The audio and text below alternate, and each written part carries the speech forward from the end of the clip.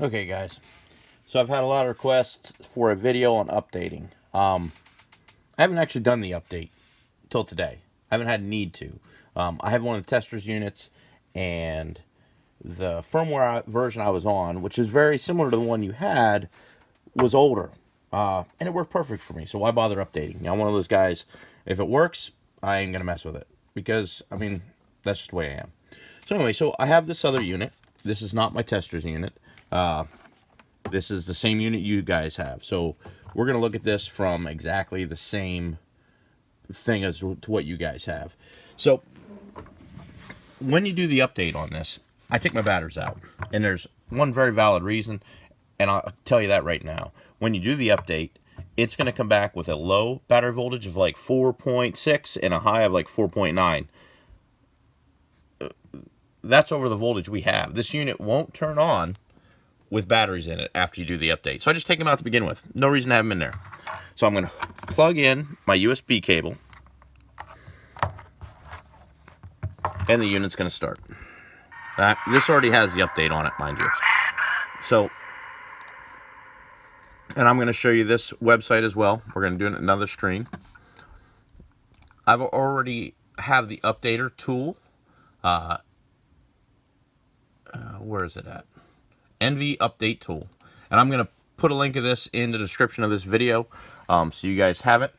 Uh, first thing we got to do, as you can see, is asking to verify the UID. And you've got to type that in, or at least I do.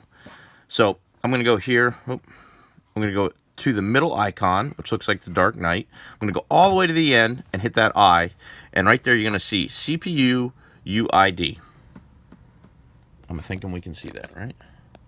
There we go. That's better. So CPU UID, you use your first two groups of numbers. Now, I already have, of course, right there it is, zero, zero. I mean, those are my numbers. Um, let's hit verify. It's going to come back and say UID is genuine, blah, blah, blah. You're going to want to download your drivers. Now, of course, you've got Windows x64 with drivers. You've got Windows X32 with drivers, you need to know what kind of machine you're using. You got a Linux-based machine, and you got a Mac. Now, the Mac is beta, right? So it works, but it is a beta version. Let's just go with that and leave it there. Now, when you download this, I'm going to go ahead and download it, even though I already have it. If it'll let me download it, because I already have it. There it goes. It's working. I have great internet, super, super slow computer, so bear with me.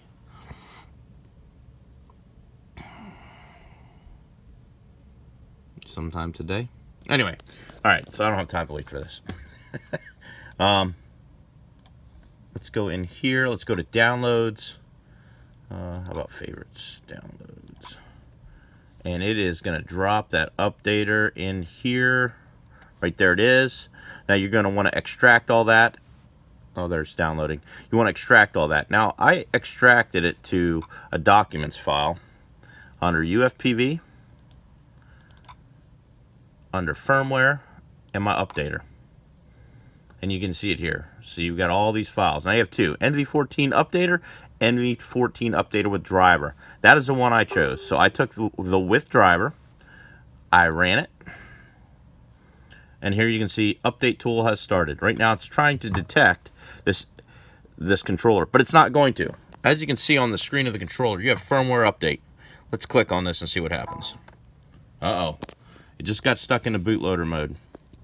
Checking for updates. It's not going to find any updates on mine because I just updated it. Right? But let's update it again anyway.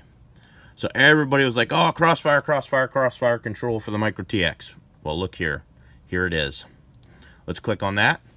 Let's hit download firmware. Now it's downloading. Now, it looks like it just stopped. What do we do now? And I've had a couple guys who say, oh, it's not working. They unplug it. Well, of course, you, just wiped out your firmware you had. It's not going to work. Then they can't do this because, you know, they're freaking out a little bit, whatever the case might be, and they download FlySky, which rewrites the SD card. You can see that you can imagine the issues they have then. So I'm going to hit Update TX. I'm going to hit it one more time. Oh, there it is. Now, the only thing that bothers me is that window should pop, like any other window, because it's an option you have to do something, and it doesn't. So you're scrolling around here, you don't see anything happen. That's what you want to do. As you can see, it's clearing the page. It's clearing all the information that's already on the controller. This takes does take a little bit of time. It is not fast. Um, it's got, I mean, basically this controller is another computer. So basically it's trying to wipe out another computer. You know, there's a lot of information on these controllers, including the FlySky controller. Uh, you know, these are these are not a simple simplistic machine.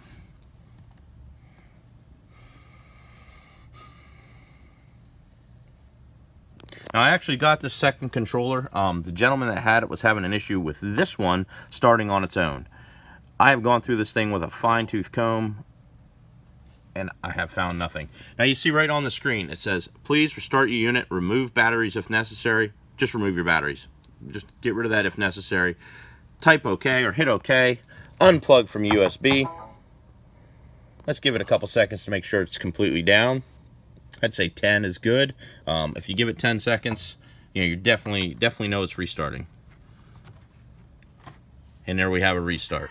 Oh, and, and it's got it there.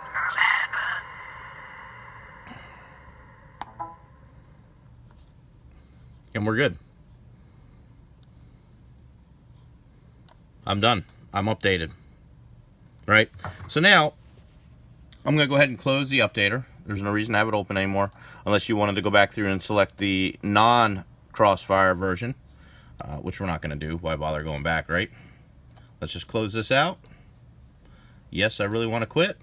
Now, let's take a look at the controller. I'm going to show you what I mean about the batteries. So, we're going to go to that center icon again. I, I, I lied to you. So it's 46 volts for the low, 48 volts for the high.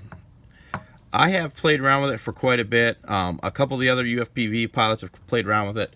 Uh, we've gone back and forth from saying 3.2 to 4.2 or 3.2 to 4.1. Uh, we've been going 3.0 to 4.1 and been doing really good on the battery voltage. So we just set that. Now I'm going to go down here to the battery low. Set your battery low like at 3.6. Um, so this controller will do a number of things. If you don't have it set this way, uh, don't need to turn this, I want to turn RSSI shutdown off. Inactivity for 10 minutes, that's another shut off. I'm just going to leave it like this. If you don't have it set that way, what will happen is you're going to be like me when I was testing these out, running them down to 3.4 volts, and this unit will shut off when it sees low battery. That's a safety feature.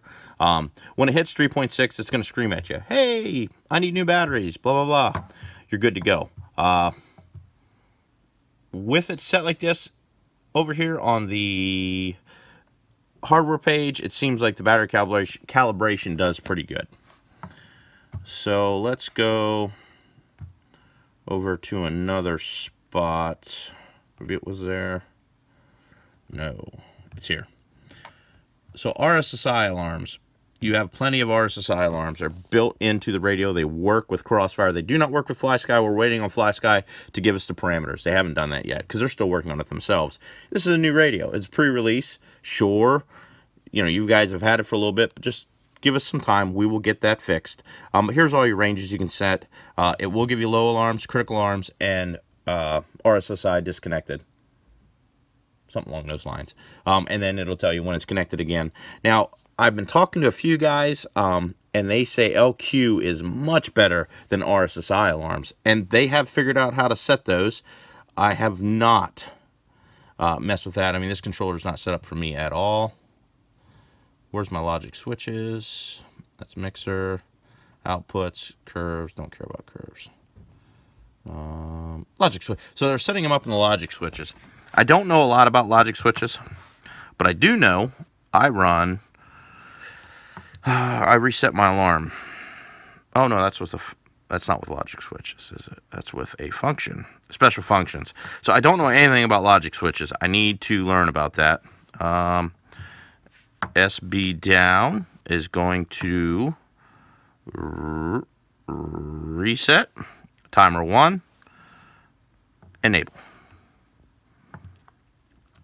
Now, every time I hit that, it's going to reset it. Now, this remote, of course, no longer has a timer set up on it. I'll be setting that up. I set it for 2 minutes and 7 seconds, so maybe 2 minutes and 4 seconds would probably be better. Um, so I'm setting up at the starting gate, and I arm my quad. The timer starts, and um, this is my arm switch. Of course, that has to be the middle. My timer starts, and by the time 7 to 4 seconds is gone, you've got a really realistic uh, race clock right in your hands. And this will tell you, hey, I've got 30 seconds left in my race. You know, basically, I wanted it to say, hey, you got 30 seconds left in the race. If you want to win, you need to kick it up a notch. You know, that's what I wish it'd tell me, but it doesn't. Uh, anyway, you know, so that works really good. Race is over. I just reset it. Super simple. Um, but guys have gotten the LQ to work in the logic switch area. I haven't played with that, so I really don't want to talk about that much, but, you know, um, that's it. That's all it took to up upgrade this to the new Crossfire uh, controls. Um, because I don't have a module in, I've noticed I'm not getting anything, but right there's the button, Crossfire Setup. It is not a Lua script. It is native to the to this controller. Um, you know, that's how it's going to work. There's no hitting Lua scripts and basically doing a soft reboot and everything else. You just hit that, and you're going to be right there in your Crossfire controls. Uh, yeah. So if you have any questions, let me know. I'm going to put a link to the the updater in the video. Uh, maybe not in the video as it's playing, but in the description of the video, and I'll post this up on Facebook. Uh, it's super simple to do. Like I said, just a few key points to remember. Take your batteries out to start with. You know, just take them out, set them aside, put the caps back on or don't, whatever. Um, but take your batteries out. Uh, when you get to that screen and you think you stalled, remember the screen I was telling you about? It says Update TX. Click it. It'll go through its deal. It'll tell you when it's done. It'll tell you to restart, restart it. It'll go through one last little check at the bottom there, and you're good to go. Go ahead and go fly. Easy, very easy. Um, anyway, I'll talk to you guys later.